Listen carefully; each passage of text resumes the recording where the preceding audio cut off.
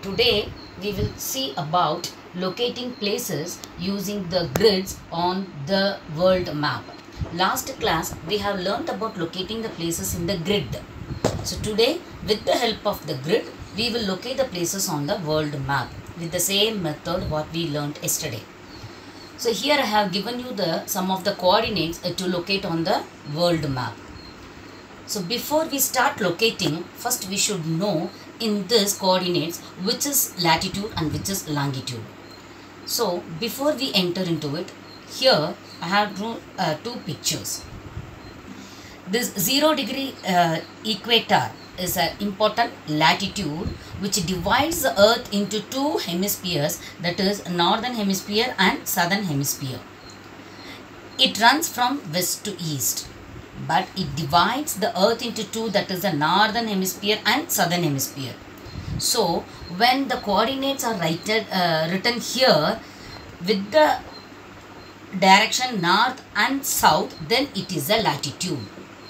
So latitudes will be mentioned with the direction north or south because it divides the earth north and southern hemisphere.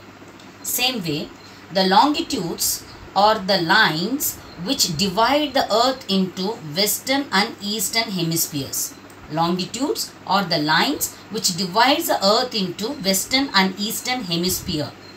So here the coordinates which is mentioned as western or eastern are called as longitudes. So this should be very very important. So the latitudes will be mentioned with the direction north and south.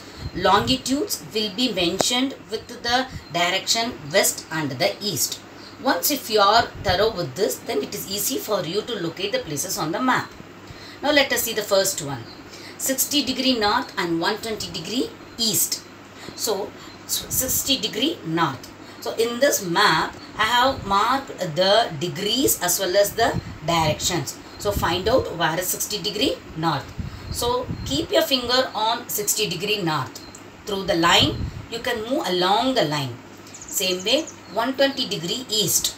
So 120 degree east lies here.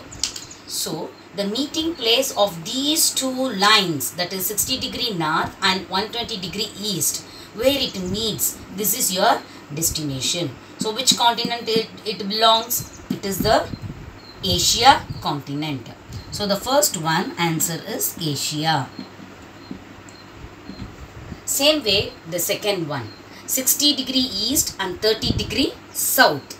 So 60 degree east. Now 60 degree east lies here and 30 degree south. 30 degree south lies here. So the meeting place of this line 30 degree south and 60 degree east where it meets it meets in the place where you, it is given in a blue color. So it is a ocean. So it is a Indian Ocean. Indian Ocean. Same way, third one 120 degree west and 60 degree north. Here 120 degree west lies here and 60 degree north. 60 degree north. 120 degree west. So move along this line and 60 degree north here. Which is uh, which continent comes here? Which continent comes here? Northern America. Sorry, North America.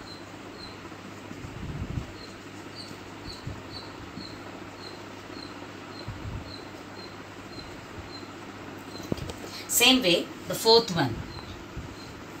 Here, they have not mentioned any direction, but it is given 0 degree. Here, 30 degree north it is mentioned. When it is given north, it is a latitude or longitude, it is a latitude. So, since it is mentioned north, it is a latitude. So, the latitude is 30 degree north. First, take 30 degree north. Okay. So, latitude is given then this 0 degree uh, represents the longitude so 0 degree longitude and 30 degree north when these two meets this is the continent it meets in the continent that is africa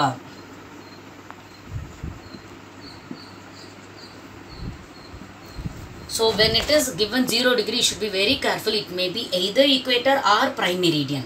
But seeing the next coordinate, whether it belongs to latitude or longitude, we should find out it is a latitude or longitude. Then the 30 degree west and 30 degree north. Now 30 degree west is here and 30 degree north is here.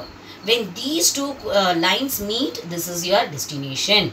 And it is also comes under the meeting place comes under the ocean. So which ocean lies here? Atlantic ocean